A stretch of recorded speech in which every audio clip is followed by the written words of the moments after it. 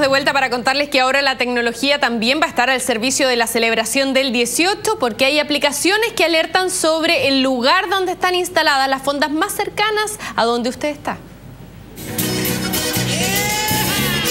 Vamos por orden. Para comenzar la celebración hay que planificarse y Map City esta vez no solo le aportará las calles de sus destinos. Fiestas Patrias se llama el ítem especialmente preparado para la fecha con cerca de 800 puntos que le ayudarán a organizarse. Botillerías, fondas, mejores empanadas con referencia a su ranking, fiestas criollas y todo lo demás.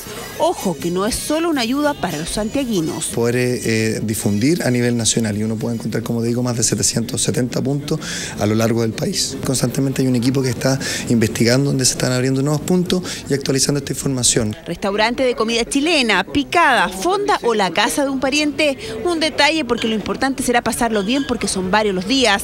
El problema es que los que se trasladen en vehículo tendrán que olvidarse del alcohol, aunque ya hay muchos chilenos que encontraron una utilidad secundaria para la aplicación Waze, que se alimenta de los datos de los mismos automovilistas. Hoy no solo advierte de accidentes o tacos los tacos y, los, y, principalmente donde está carabinero para poder, eh, para poder disminuir las velocidades. ¿Y es eficiente? Sí si decide, como corresponde, dejar el auto o salió de frentón a pie. AC Taxi lleva siete meses solucionándole el problema a unos mil techos amarillos que ya cuentan con la aplicación. Nació en Brasil y ya está en 11 países. Los taxistas saben clarito quién y dónde los necesitan porque se crea un registro que les da más seguridad a ambos. Además, dejan de dar vueltas vacíos y ahorran combustible. Lo ahorra el tiempo, para no estar dándolo vueltas como tú dices, para no estar prácticamente paseándolos, como decimos nosotros. ¿Se eh, nota la benzina? Sí, se nota. ¿Usted sabe quién es el que se sobre su auto? Indudable, porque en la aplicación le aparece a uno los antecedentes del pasajero, así como al pasajero le aparecen los antecedentes que tiene uno. Por parte del taxista, eh, nuestra meta es que ellos consigan llegar a recoger el pasajero en máximo 10 minutos.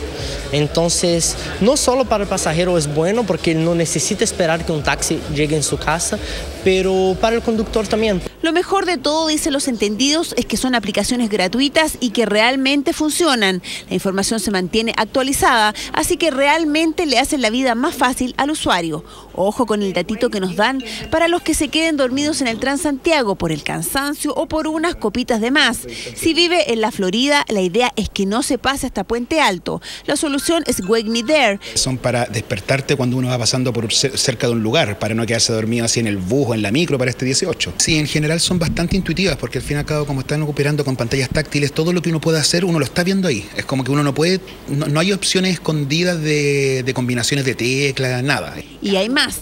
Es cosa de buscar y comenzar a bajar las aplicaciones que estén acorde a sus intereses. Después, a pasarlo bien.